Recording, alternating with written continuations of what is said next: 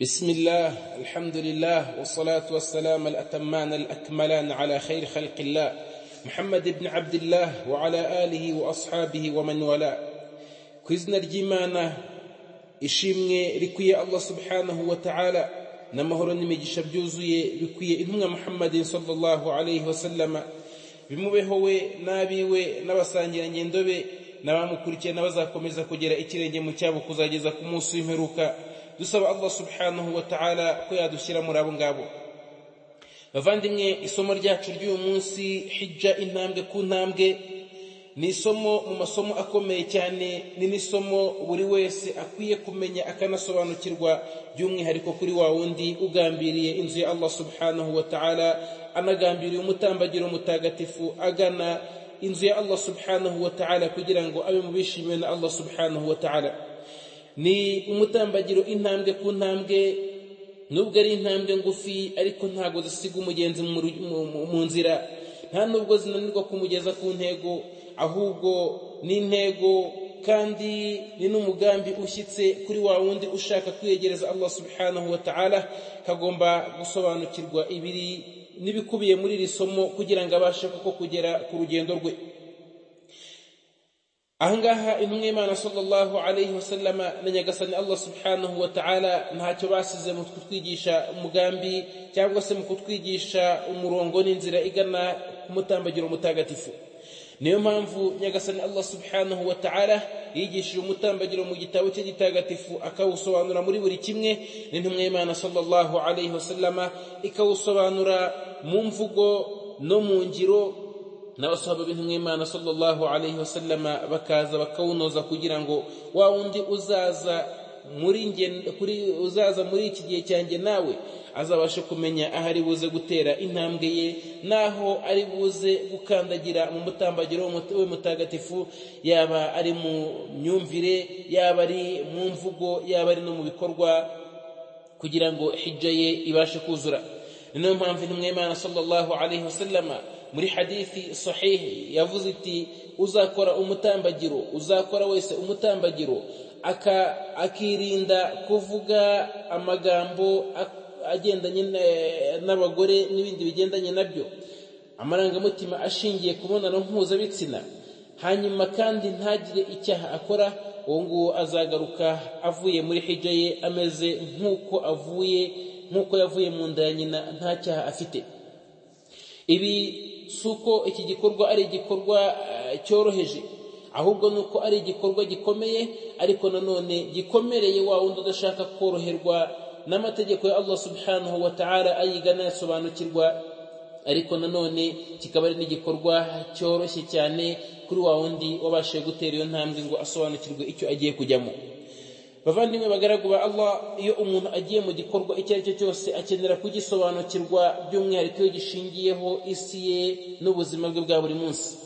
Naho igishingiye ku idini cyo gikwiye kuba ari akarusho kurenza ibyo byose kugira ngo umuntu abashe kwinjira no gukomanga imiryango y'uwiteka allah subhanahu wa ta'ala afite ubumenyi kandi asobanukiwe neza ibyo ashaka gukora n'ibyo ashaka kwegerezamo allah subhanahu wa ta'ala. Aha niyo mpamvu nyagasani allah subhanahu wa ta'ala nta ibada n'imwe muri ibada yakirira umugaragu we keretse iyo yujuje ibintu bibiri. Icya mbere ni al ikhlas ni ukuba igikorwa agikoze nta wundi ashaka kucyereka nta n'undi agambiriye nta n'undi ntego ye usibye uburanga bwa allah subhanahu wa ta'ala no gushimisha uwiteka allah subhanahu wa ta'ala no kuba icyo gikorwa nta wundi acyereka usibye allah subhanahu wa ta'ala. Uwo mugambi wereka allah subhanahu wa ta'ala igikorwa cy'umwemeramana uwo niwo mugambi uhanitse niyo niyo ntego yo kugandukira imana n'icyo ngicyo ni cyo nyagasani allah subhanahu wa ta'ala ashaka ku kiremwa cye anashaka ku bagaragu be kubera ko nyagasani ntabwo amategeko ye ari ayo kugira ngo amuzamure mu ikuzo cyangwa se kumwigomekaho ngo bibe byamumanura mu cyubahiro. Ibyo byose ntabwo ari byo nyagasani ashaka niyo mpamvu niyo avuga ibikorwa bya ibada? Avuga ati walakin yanaluhu taqwa minkum. Ahubwo icyo nyagasani allah subhanahu wa ta'ala ashaka cyane ni ugutinya imana kuri mu bituza byanyu. Ahangaha iyo umuntu amajije kunoza ikiri ku mutima hakurikiraho icya kabiri cyitwa ari mutabaa gukurikira intumwa muhammadin sallallahu alayhi wasallama muri cya gikorwa no muri kwa kugandukira allah subhanahu wa ta'ala.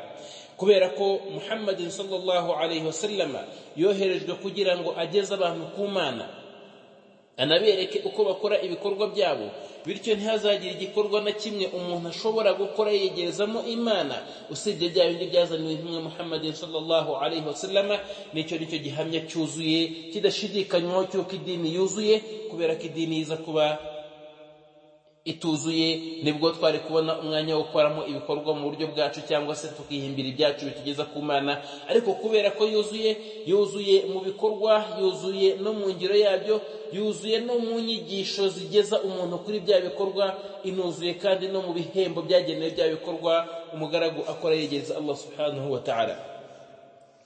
Iyo umuntu amajije kumenya ibyo ngibyo amenya neza adashidikanya ko umutambagiro mutagatifu nawe uri mu byujujwe mu idini by'umwihariko ubwo intumwa muhammadin sallallahu alayhi wasallama yavugaga iti khudhu anni manasikakum. Ngaho nimunyigeho umutambagiro wanyu mutagatifu. Ngaho nimunyigeho umutambagiro wanyu mutagatifu. Ni iki? Ni ikimenyetso cy'uko umutambagiro nta handi dushobora kuwukura usibye ku ntumwa y'imana muhammadin sallallahu alayhi wasallama umutambagiro mutagatifu ntabwo turi bujye muri byinshi. Nta nubwo turi buze kwinjira mu bisobanuro byinshi nk'uko twavuze ko ari intambwe zihinnye ariko zigeza nyirazo ku ntego. Ni uko umutambagiro urimo ibice ni bitatu ubusanzwe ariko mbere y'uko twinjira mu mutambagiro nyirizina tubanze tuvuge ko umutambagiro hari umutoya n'umukuru. Umutoya akaba ariyo umura gusura inzu y'imana bisanzwe bitagennye mu mezi runaka ibyo ngibyo bikitwa umura hanyuma hakaba n'umutambagiro mukuru ari wo hijja ari wo mutambagiro mukuru wo gusura inzu ya allah subhanahu wa ta'ala muri bya bikorwa by'umwihariko byagennye bikaba n'igikorwa mu bikorwa byuzuza idini y'uwiteka allah subhanahu wa ta'ala kubera ko ari inkingi ya gatanu mu nkingi zigize uwisilamu.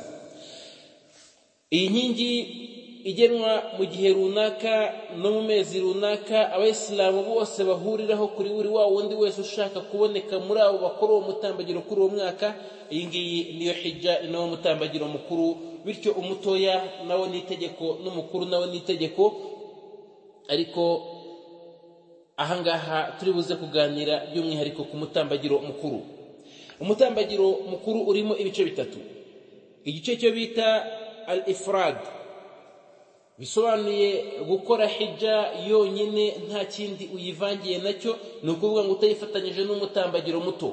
Ugakora hijja yonyine utayifatanyije na umra ibi ngibi byitwa al ifrad hakaba igice cya kabiri cyitwa al qiran al qiran ni ugufatanya hijja na umra ariko udatandukanyije hagati y'ibikorwa byabyo. Ni ukuvuga ngo ibikorwa byabyo bikinjiranamo bityo ntugire igihe uvuga ngo ndangije umra ninjiye muri hijja bityo hijja na umra bikagendera rimwe uko byakabaye. Igice cya gatatu cyitwa tamattu ni ugukora umra mu mezi y'umutambagiro mutagatifu warangiza ugategereza umutambagiro mukuru ko ugera hanyuma ukinjira mu mutambagiro mutagatifu. Ni iki ni cyo gice cya gatatu cyo gukora umutambagiro mutagatifu? Umutambagiro wa tamattu ari wo kubanza umra ukayirangiza warangiza ukabona kwinjira muri hijja uyu niwo mutambagiro intumwa y'imana sallallahu alayhi wasallama yahitiyemo abasahaba bayo ikanashishikariza abayisilamu ikana ikanifuza cyangwa se ikanavuga ko iyo itaza kuba yashoreye amatungo izana ibitambo ku nzu y'imana imaka na yo yagombaga gukora uwo mutambagiro ari wo mutambagiro wa tamattu kubera ko ni ugukora hijja na umra byose byuzuye kandi bifite ibikorwa byabyo byuzuye bigakorwa mu rugendo rumwe no ku mwaka umwe bityo ukaba uhuje kugandukira imana mu mutambagiro muto n'umutambagiro mukuru mu gihe kimwe no mu bihe bimwe. Uyu mutambagiro turi buze kuwugarukaho kubera ko ari nawo ukunze gukoreshwa na benshi. Ariko duhereye mbere y'uko tuwinjiraho duhereye ku mutambagiro wa ifrad. Nk'uko twabivuze ni ugushyiraho umugambi ko ugiye gukora umutambagiro gusa hanyuma ukinjira mu bikorwa by'umutambagiro ukazasohokamo urangije umutambagiro hanyuma ibi bikorwa ntibizatandukane kubera ko utagomba gukuramo ihram kubera ko nanone kandi winjiye mu gikorwa ukakinjiramo rimwe bityo igihe cyose wakinjira muri uyu mutambagiro uba usabwa kuguma mu mategeko n'amabwiriza ya hijja kuzageza igihe usozereje hijja yawe ku munsi w'irayidi cyangwa se igihe uzaba urangije gukora cyangwa se kuva mu miziro ya hijja yose uko yakabaye. Igice cya kabiri twavuze cya qiran ni ugufatanya hijja na umra ibikorwa ni bimwe bimeze nk'ibyo wundi ugiye gukora ifrad akora. Ariko itandukaniro gusa ni uko umugambi w'uyu nguyu ugiye gukora qiran aba afite umugambi w'uko arimo gukora hijja agakora na umra mu bikorwa bimwe hanyuma yakora tawafu akaba iyo tawafu ye afite umugambi ko ari tawafu ya umra ikaba na tawafu ya hijja. Yajya no muri saya nabwo bikaguma uko nguko akamenya ko saya ye ari iya hijja ikaba n'iya umra hanyuma agakora n'ibikorwa nk'ibyo ukora ifrad akora ariko akazirikana ko azatanga igitambo kubera ko yafatanyije ibada ebyiri. Hanyuma twagaruka kuri tamaturu ari na yo turi buze gutindaho kubera ko abenshi niyo bakora. Abenshi niyo bakora kandi abenshi niyo bashyira mu ngiro n'ibikorwa byayo bikeneye gusobanurwa cyane kubera ko byiganjemo benshi mu bakora umutambagiro mutagatifu by'umwihariko mu bice dukomokamo cyangwa se mu bice byacu. Tamaturu cyangwa se gukora umura wayirangiza ukayikurikiza hijja turi buze kuyiganiraho cyangwa tuganire kuri runo rugendo kuva umuntu aturutse iwe mu rugo kugeza umuntu arangije umutambagiro mutagatifu. Iyo umuntu agambiriye umutambagiro mutagatifu agafata umugambi ahangaha icya mbere ni uko kugira ngo ibe tamaturu ni uko agomba gutangiza urugendo rwe rugana imaka mu mezi y'umutambagiro mutagatifu ariko ukwezi kwa shawari ukwezi kwa cumi n'ukwezi kwa dhulkaada ukwezi kwa cumi na kumwe n'ukwezi kwa dhulhijja mu ntangiriro zako muri ya minsi yagenewe umutambagiro mutagatifu. Iyo umuntu agambiriye umutambagiro mutagatifu mutoya umra muri kino gihe hanyuma yarangiza n'uwo mwaka akaba afite umugambi wo gukoramo hijja ibi ngibi ni byo byitwa tamattu kubera ko icyo gihe asohoka mu rugo rwe akerekeza muri umra yayirangiza akicara agategereza kugeza igihe azakorera umutambagiro mutagatifu akabona kugaruka. Bamwe bamenya abona ko ashobora kugaruka kongera agasubirayo ariko ibyiza kurushaho ni uko agenda agakora ibyo bikorwa akazagaruka agaruka iwe ari uko abishoje. Iyo mvuze kugaruka iwe abantu bose ntibahita bumva ko harimo ibikorwa bikabije kuko hari n'abaturiye umurwa wa maka bari hafi yawo bityo bakoze urugendo baje muri iyo tamatu baba basabwa kuguma aho ngaho imaka kuzageza igihe barangirije ibikorwa byabo baba baturutse mu mijyi ihegereye cyangwa se mu mihanda ya kure. Iyo umuntu agambiriye hijja icya mbere aba agomba gukora ni uko agomba gutunganya no kunoza umutungo we ugiye kumujyana muri uwo mutambagiro mutagatifu. Kuko inna allaha tayibun la yaqbalu illa tayiba nyagasani ni mwiza kandi areze nta nubwo ajya yakira usibye ibyiza kandi byeze. Bityo iyo uteguye umutungo wawe wese ugiye kujyana umutambagiro ahangaha utangiye intambwe ya mbere. Hanyuma ugashyiraho umugambi wawe mwiza no gutakambira allah subhanahu wa ta'ala ko akomeza kugutiza imbaraga n'ubuzima kugira ngo uzabashe gukora uriya mutambagiro. Hanyuma ugakomeza kandi no kwegeranya impamba n'uburyo buzagufasha kugira ngo ukore biriya bikorwa.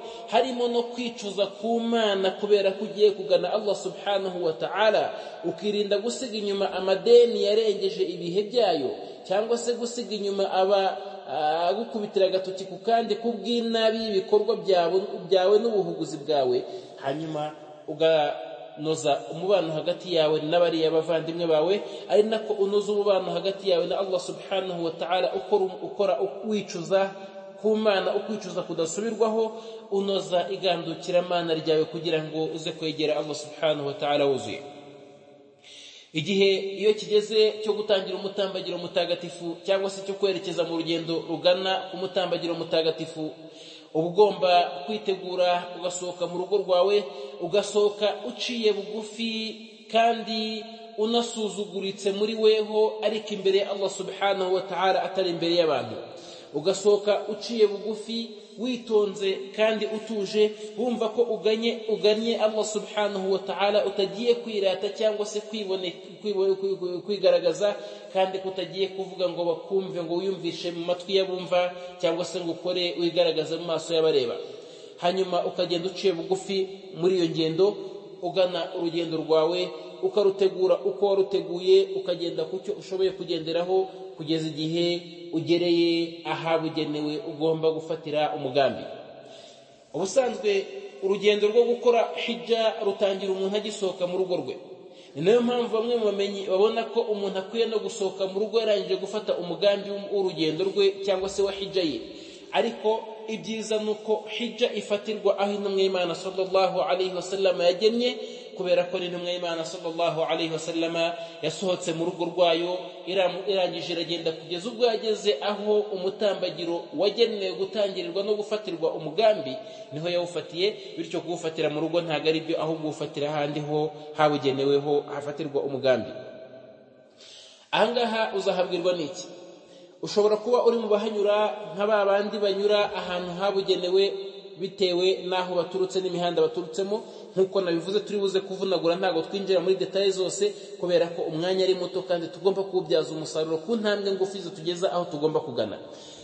Iyo umuntu urugendo rwe ruri buze kumunyura mu cyitwa miqati.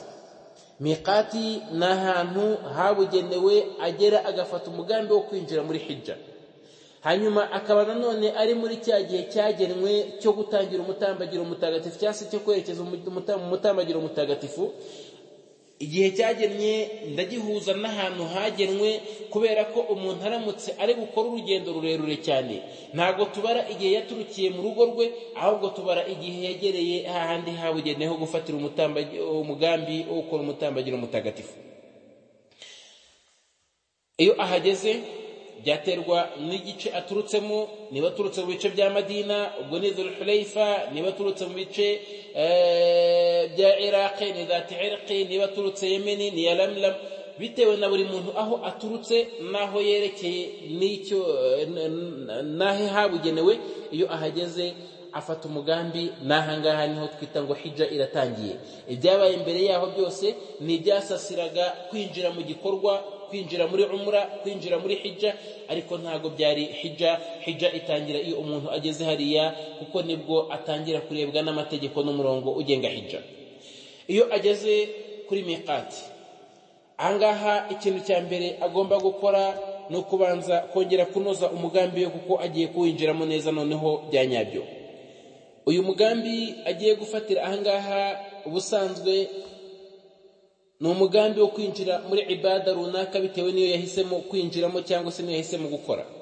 Iyo ageze kuri miqati agomba gutangira icya mbere yitandukanya niba ari umugabo yitandukanya n'imyenda idoze mu njyana igendanye n'ingingo z'umubiri.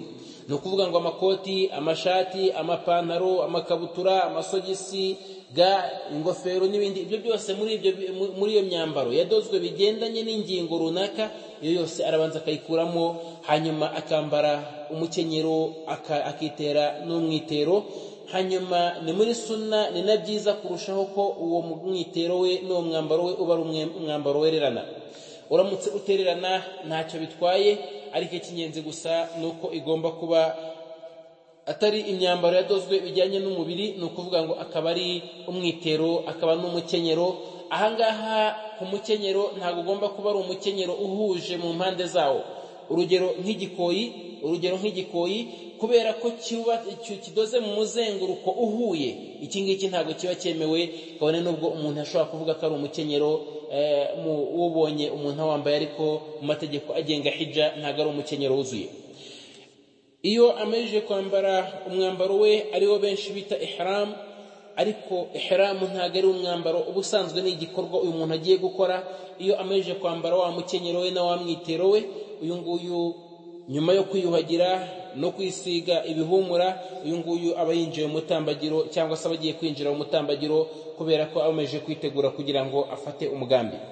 Ahangaha gusenga raka ebyiri ubusanzwe ntabwo ari suna za ariko kubera ko yiyuhagiye akanatawaza asenze raka ebyiri zo gutawaza ibi ngibi ni byiza ni suna muri suna z'intumwa y'imana sallallahu alayhi wasallama hanyuma aramutse ibyo atabikoze agafata umugambi we nyuma yo kwicara ku kigenderwamo cye nyuma yo kwicara ku kigenderwamo cyangwa ikigenderwaho cye ahangaha nta kibazo cyangwa se afashe inzira yerekeye yerekeye mu mutambagiro mutagatifu. Aha avuga ijambo rivuga ngo labbaik allahumma labbaik allahumma umra iyo agiye gukora tamattu'u iyo agiye gukora tamattu'u. Cyangwa se akavuga ati labbaik allahumma hajja. Nyagasani nkwitabye gukora umutambagiro mutagatifu wa hijja gusa iyo agiye gukora ifrad. Cyangwa se akavuga labbaik allahumma hajjan wa umra iyo agiye gukora qiran. Ya yindi twavuze bwa bwoko bwo gufatanya hijja na umra nta kubitandukanya kubaye hagati aho ngaho. Iyo amaze gufata umugambi we ahangaha ahita atangira gukora talbiya. Ahita atangira gukora talbiya.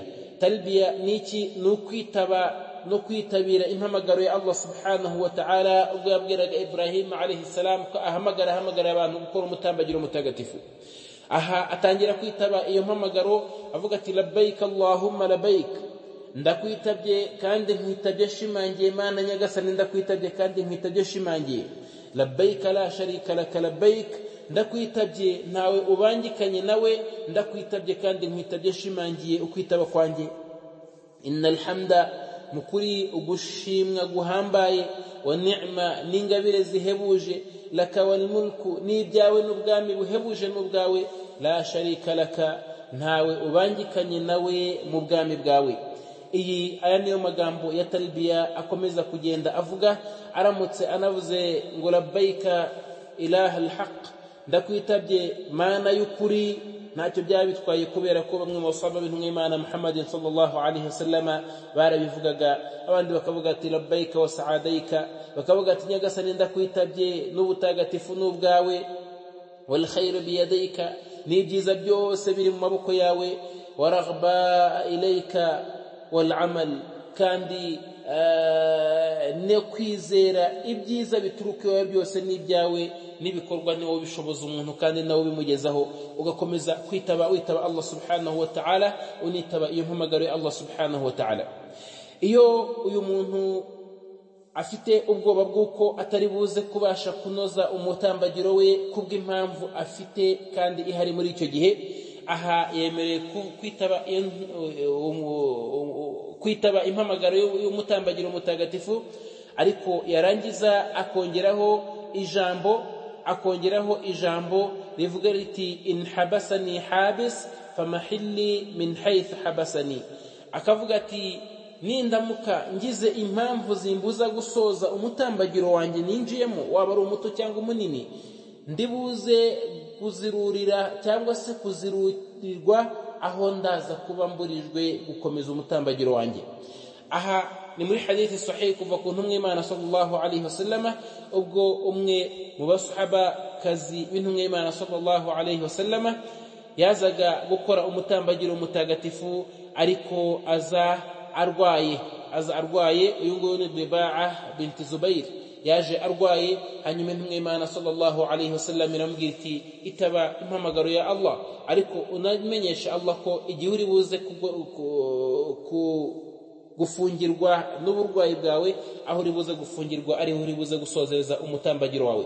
Ibi ngibi bifasha iki? Ibi bifasha wa wundi utsindiwe mu nzira ko adategekwa gukora umutambagiro nk'itegeko ntakuka ku mwaka ukurikiyeho kandi nanone nta n'ikiru asabwa cyo kunanirwa gukora umutambagiro no kuwucamo kabiri kubera ko aba yarangije gushyiraho iyo kondisiyo.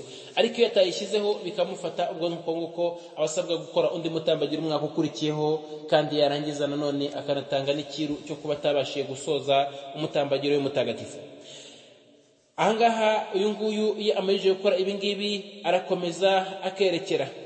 Arakomeza akerekera akerekera umutambagiro mutagatifu arushaho gusubiramo ya magambo labbaik allahumma labbaik labbaik la sharika laka labbaik inna alhamda wanni'mata laka walmulk la sharika laka.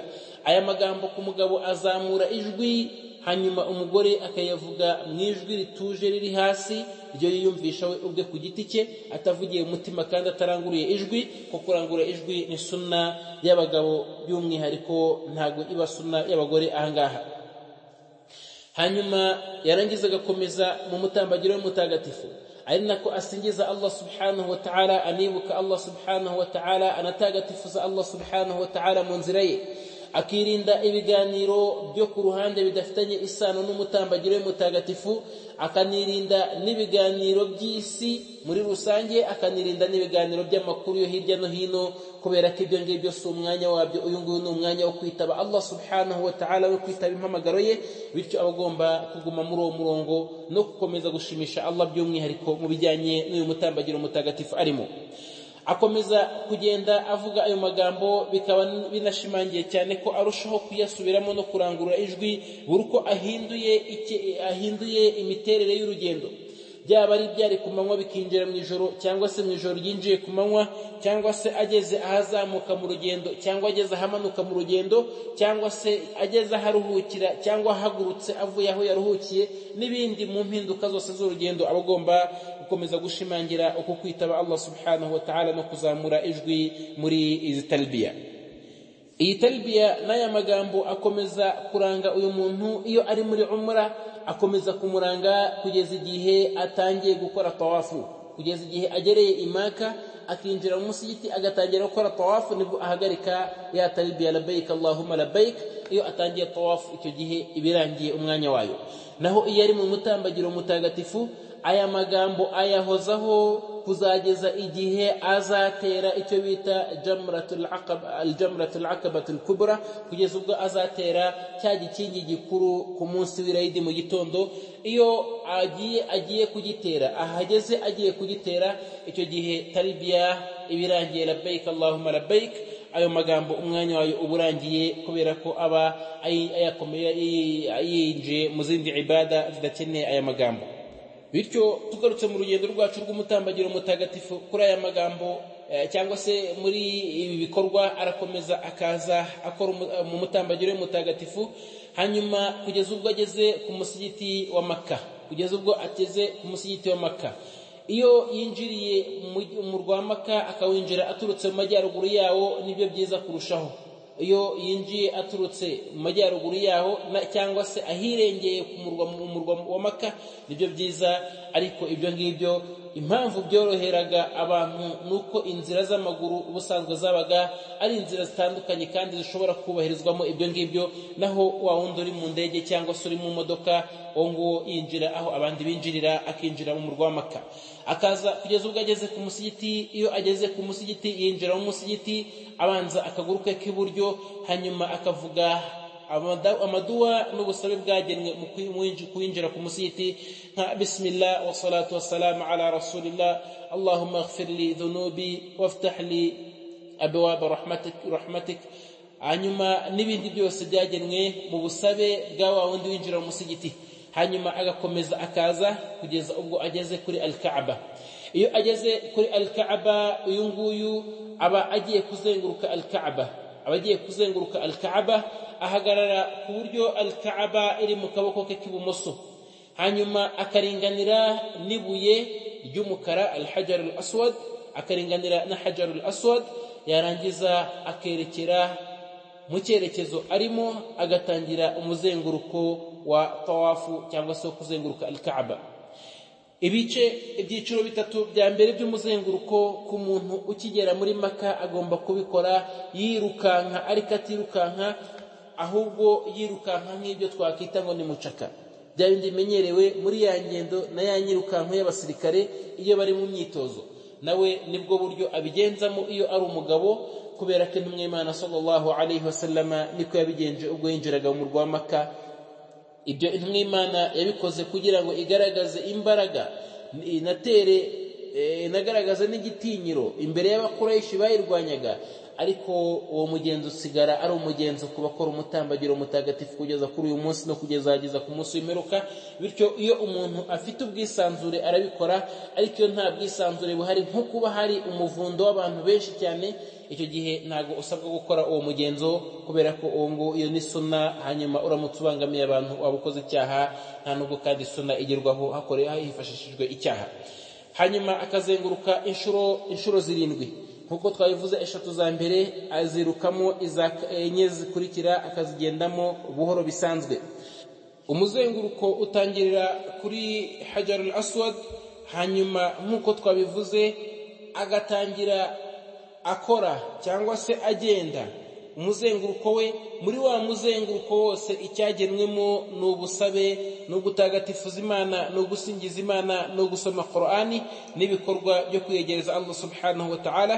Ntabwo ari igihe cyo gutangarira inyubako cyangwa se kuganira ibindi biganiro byo ku ruhande cyangwa se umuntu kugenda acecetse ahubwo ni umwanya wo kwiyegereza allah subhanahu wa ta'ala.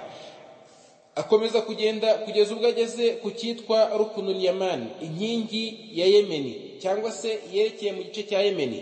Iyi nkingi ni inkingi iyo uyigezeho ubishoboye urayisuhuza no kuyisuhuza ni ukuyikoraho gusa nta magambo yagenwe ahavugirwa n'iyo utabishoboye ntabwo uyipepera nta nubwo ugira ijambo ry'umwihariko uvuga ahubwo iyo uyirenze ugenda kugeza ubwo ugeze kuri hajar aswad ku nkingi irimo rya buye ry'umukara ugenda uvuga uti rabbana atina fi dunya hasana mana nyagasani ndakwinginze ngo umpe ibyiza hano ku isi wa fil akhirati hasana uzampe n'ibyiza ku munsi w'imperuka waqina adhaba nar kandi uzanaturinde ibihano by'umuriro cyangwa se waqini adhaba nar unandinde igihano cy'umuriro. Iyo duwa niyo akomeza gusubiramo ayisubiramo igihe cyose akiri hagati ya za nkingi ebyiri ya nkingi ya yemeni n'inkingi irimo hajar al aswad hanyuma iyo ageze kuri hajar al aswad uwo nguwo aba arangije umuzenguruko umwe. Kuko utangira kuri hajar al aswad ukarangira kuri hajar al aswad warangira iyo ugeze kuri hajar al aswad uteganye na yo iyo ugeze kuri hajar al aswad uteganye na yo uzamura akaboko ukavuga uti allahu akbar. Uzamura akaboko ukavuga uti allahu akbar. Imana niyo nkuru iyo uri kure utabasha kuhagera. Iyo ubasha kuhagera iyo ubasha kuhagera no kuhegera uragenda ugasoma ibuye ry'umukara. Warangiza ukavuga ukavuga uti allahu akbar ugakomeza umuzenguruko. Iyo utabasha kurisoma ariko ufite ikintu mu ntoki ushobora gukozaho urugero nk'umutaka urugero nk'inkoni cyangwa se n'akaboko ugakozaho warangiza ugasoma kuri cya kindi wakozeho. Iyo utabashije kugira icyo ukozaho nka wa wundi wazamuye akaboko agapepera akavuga ati allahu akbar. Uyu nguyu ntagasoma ikiganza no gusoma ikiganza. Ibyo ngibyo ni bimwe mu bice by'ubujiji bigaragara umutambagiro mutagatifu umuyisilamu wize agasobanukirwa umutambagiro adakwiye kugwamo. Aramutse avuze ngo bismillah allahu akbar. Bamwe bamenye ko ntacyo bitwaye kubera ko iryo jambo ryagaragaye mu gutangira tawafu cyangwa se rigaragara mu gutangira umuzenguruko. Akongera agakora umuzenguruko nk'uko twasobanuye umuzenguruko wa mbere kugeza ubwo ageze ku muzenguruko wa karindwi ari buze gusozeza kuri rya buye ry'umukara hanyuma ahangaha iyo ahageze ni bwo aba arangije igikorwa cya tawafu aba arangije igikorwa cyo kuzenguruka alkaaba. Kuri wa wundi uje muri umura iyi bari tawafu alqudum na wa wundi uje muri hijja yonyine na byo ni uko nguko. N'uje muri hijja afatanyije na umura ariko atari buze gutandukanya ibikorwa byabyo byazo byabyo byombi. Uyu nawe iyo ngiyo aba ari tawafu alqudum kandi ikaba na tawafu ya hijja. Icyo gihe uyu abangaba bose ibikorwa byabo biba birangiye baba bagiye gukurikizaho raka ebyiri za tawafu iyo umajije gukora tawafu yawe izo iyo mizenguruko irindwi icyo gihe noneho wegera imbere gatoya ukajya ahari ibihagararo ahari igihagararo cya ibrahim alayhi salam. N'ahari ibirenge bya ibrahim alayhi salam yahagazeho ubwo yubakaga alkaaba we n'umuhungu we ismail. Nyagasana agasiga ibimenyetso by'ibirenge bye ku ibuye kugira ngo bizasigare ari ikimenyetso kuri ba bagandukiramana bose ko bagomba kuhasengera raka ebyiri no kuhambariza allah subhanahu wa ta'ala ukahakorera raka ebyiri. Iyo bishoboka. Iyo bidashoboka ko uhasengera raka ebyiri udashobora no kujya mu nkengero zaho ahahegereye cyane icyo gihe za raka ebyiri uzikorera aho ariho hose mu musigiti kubera ko iyo hahandi hagerewe hakunaniye icyo gihe uhasimbuza ahandi hose hasigaye mu musigiti ntacyo biba bitwaye. Izi raka ebyiri ni raka usenga zihuse. Ntago ari raka basenga iminota makumyabiri cyangwa mirongo itatu cyangwa se izamuye ahubwo ni raka zihuse intumwa y'imana sallallahu alayhi wasallama yasengaga kandi ikazisenga inyarutse aho kuri raka ya mbere yasomaga suratul kafiruna qul ya ayyuhal kafiruna nyuma ya suratul fatiha hanyuma kuri raka ya kabiri ikasoma suratul ikhlas qul huwa allahu ahad nabwo nyuma ya suratul fatiha hanyuma ntabwo yasomaga iduwa mu gihe cy'icyubamo cyayo cyangwa se nyuma ya sami allahu liman hamida ahubwo zabaga n'iraka ebyiri zihuse zisengwa zigahita zirangira hanyuma ugatora asalamu hanyuma ugahaguruka ukerekeza kuri safa na maruwa aho ugiye gukora igikorwa cya sa'i. Ahangaha kuri wa wundi uri muri umra ahita yerekeza muri saya ni ukuvuga ngo na wa wundi waje gukora hijja ya tamatu'u uyu nawe aba ari muri umra kubera ko icyo gihe aba yabanjije umra agiye azavamo akabohoka kuzageza igihe hijja izazira.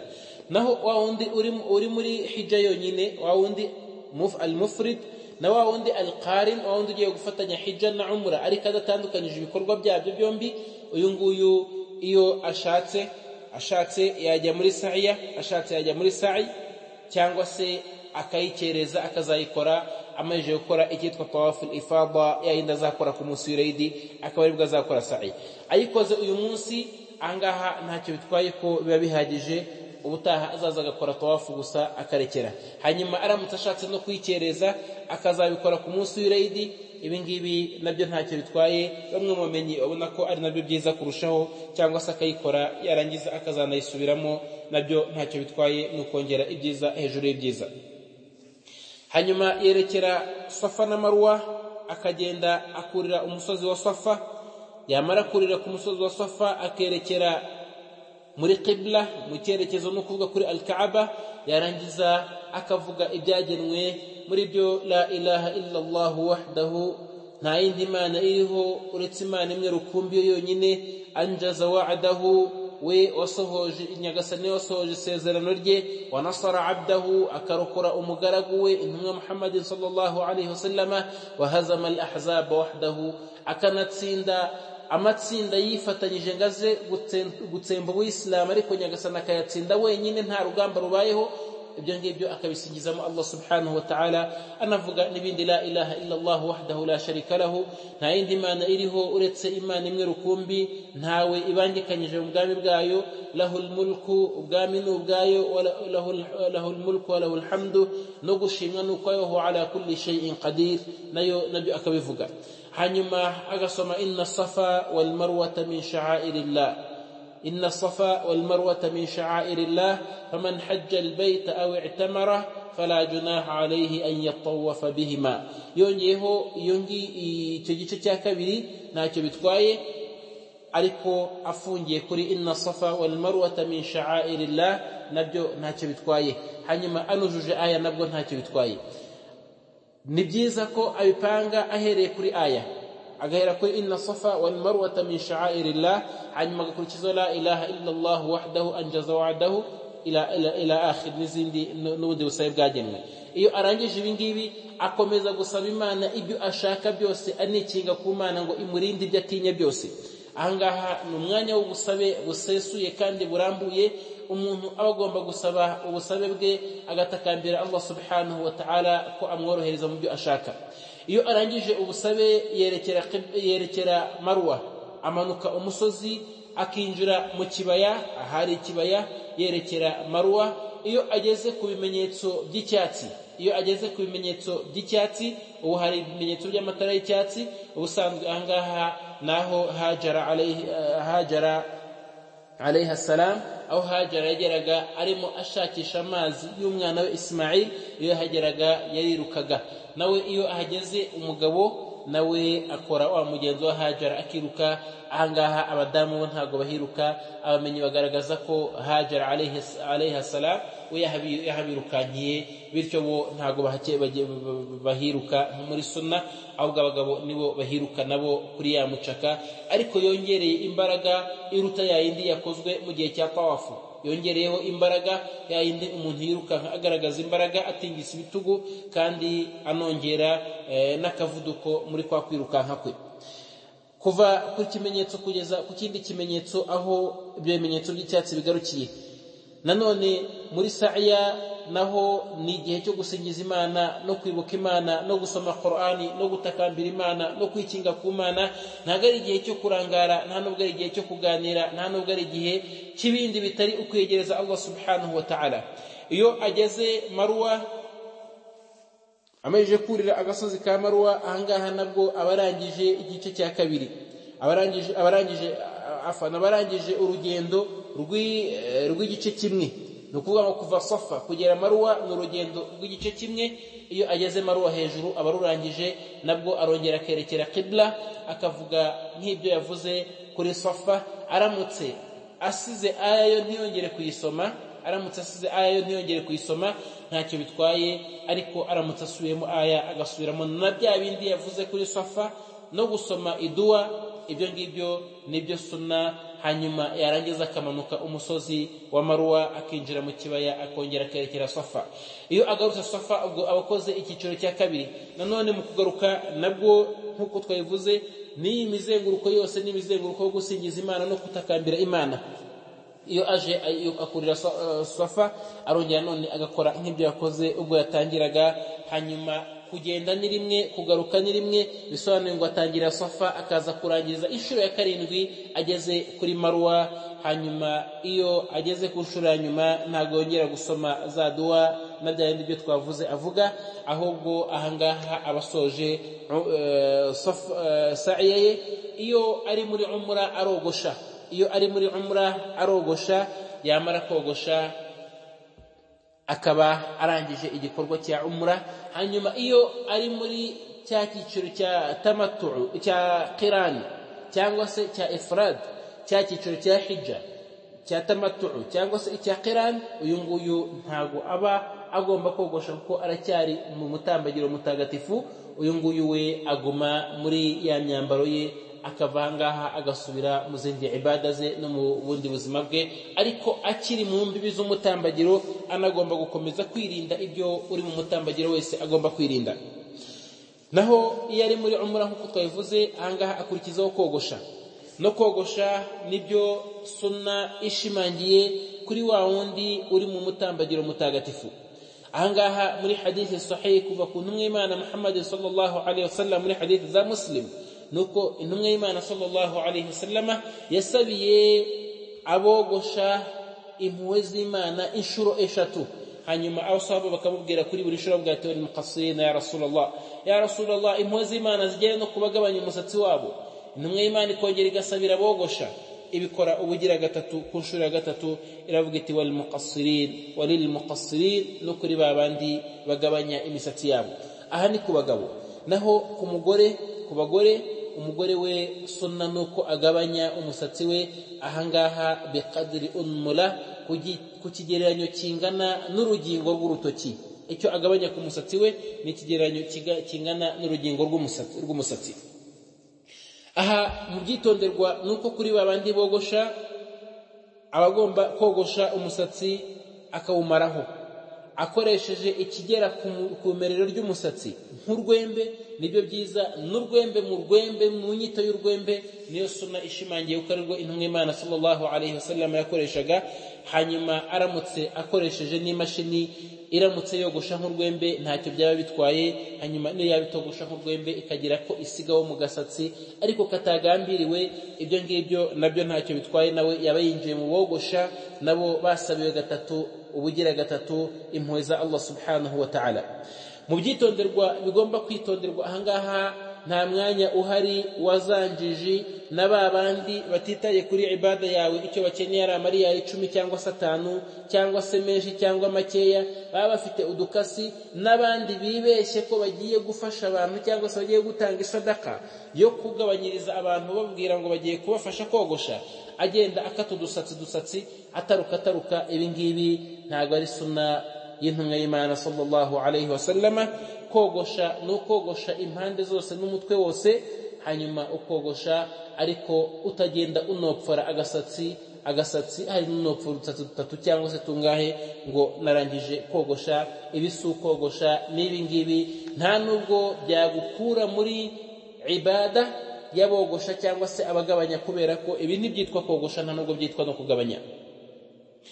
Hanyuma nk'uko twabivuze umugore we aragabanya akagabanya kuri cya kigereranyo kingana n'urugingo rw'urutoki. Nyuma y'aha ngaha uri muri umura umura ye ibirangiye n'uri muri tamaturu icyiciro cya mbere cya hijja kiba kirangiye n'uwanga icyiciro cya mbere cya umura kiba kirangiye ubwo abazategereza umunsi abandi bazinjira mu mutambagiro mutagatifu cyangwa se bazinjira hamwe bose ku mutambagiro mutagatifu ari wo ku munsi wa munani w'umutambagiro uwo munsi uzagera bose nk'abitsamuye bakongera kugaruka mu mutambagiro no gutangira ibikorwa by'umutambagiro. Akaba ari naho tuzasubukurira isomo ryacu rya kabiri ry'umutambagiro intambwe ku ntambwe. Kuko uyu nguyu iyo ageze ahangaha icyo gihe uri muri muri umura cyangwa se uri muri tamaturu azirurirwa buri kimwe cyose kubera ko ibada iba irangiye nk'uko twabivuze bityo ahita yongera agamera nk'umuturage usanzwe aho yemererwa. Kwambara imyenda yose ashatse no kwisiga ibihumura no kogosha no kubonana n'uwo bashakanye n'ibindi byose mu byo tuzavuga bya bindi bizirijwe ko umuntu abikora muri hijja cyangwa se muri umura kuko aba asubiye mu buzima bwe. Dusaba allah subhanahu wa ta'ala ko yakakirira abakora umura umura zabo n'abakora umutambagiro umutambagiro wabo. Kandi akadushyira amagaragu beza akadushyira muri babandi bumva amagambo bagakurikira ameza muri yo bagakurikira umuyoboro w'intumwa y'imana muhammadin sallallahu alaihi wasallama kugira ngo uzabageze mu ijoro rya Allah subhanahu wa ta'ala tunatakambira Allah subhanahu wa ta'ala ko yatugeza twese imyaka umusubizo muri uwo mutambagiro mutagatifu kandi akaduha kuwukora no kuwunoza no kuwakirirwa kubera ko ari ushobora byose akhiri dawana alhamdulillahi rabbil alamin subhanaka allahumma bihamdika nashhadu an la ilaha illa anta nastaghfiruka wa natubu ilayk